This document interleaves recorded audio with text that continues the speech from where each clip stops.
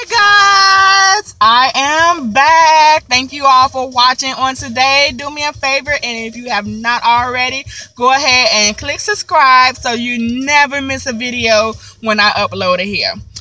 Also, I am happy to report that I have finally faced fear in the face, and I went to my fertility appointment on yesterday. Um, overall, I'll say it was a pretty good appointment.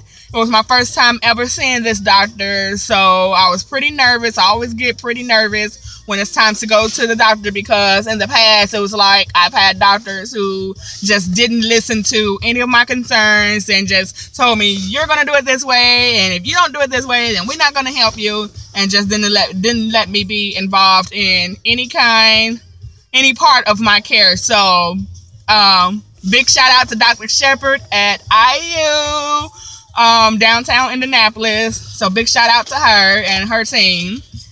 Um, again, this appointment was an overall good good experience. I finally have my PCOS polycystic ovary syndrome down in the charts by a fertility doctor. Um, so now I officially, officially know what the heck is going on with my body and why the heck are we having a hard time trying to conceive. Um, basically, at this appointment, she went over my medical history, which you all know I may have told you I can't remember or not, but I have diabetes, so we talked a lot about that, which I'm going to be telling you about.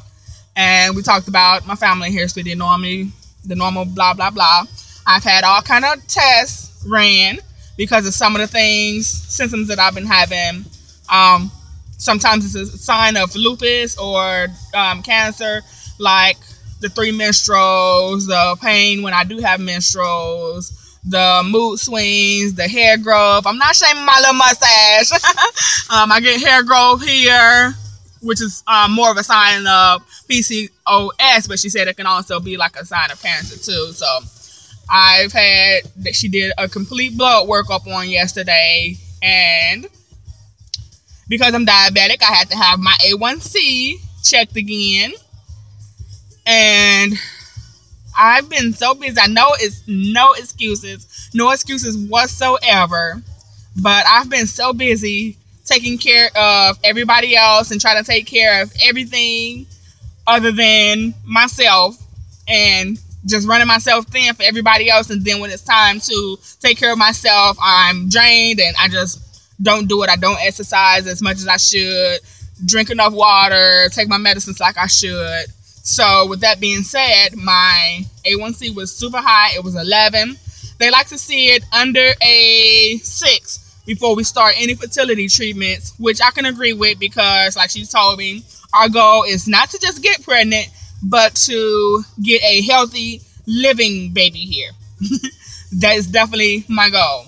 You know, when your diabetes is high and out of control, that can cause all kind of problems like miscarriage in my situation, stillbirth, um, all kind of deformality, deformalities with the baby and complications after birth and with the mom and the baby and it's just nasty. So right now, my game plan is to get that A1C down, take care of myself, do more self care, which includes exercising.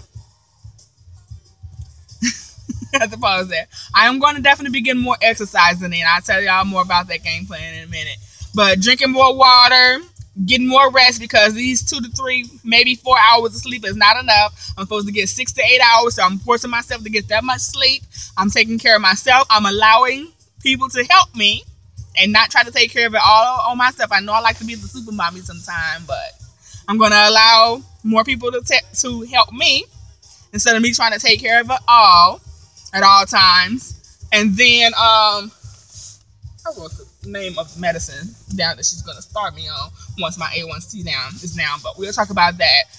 But um, in addition to all of those things, since I've only had three menstruals this year, sorry too much TMI, but I've only had three menstruals this year. So she started me on a dose of Provera, and then I'm to call in and let her know how that menstrual was, and then we'll decide if I should take it again the next month and how many months am I actually going to take that.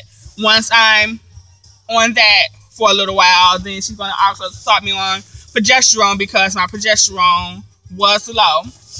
So we may start the progesterone probably in February or March.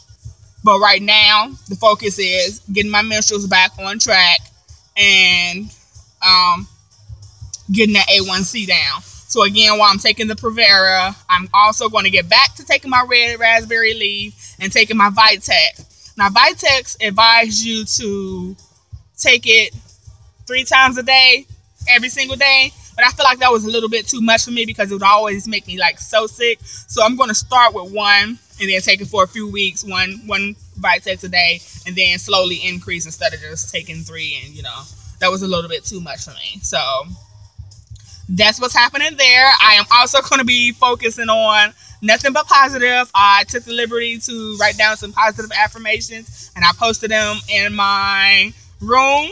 So that it's the first thing I see when I open my eyes and the last thing I see when I close them.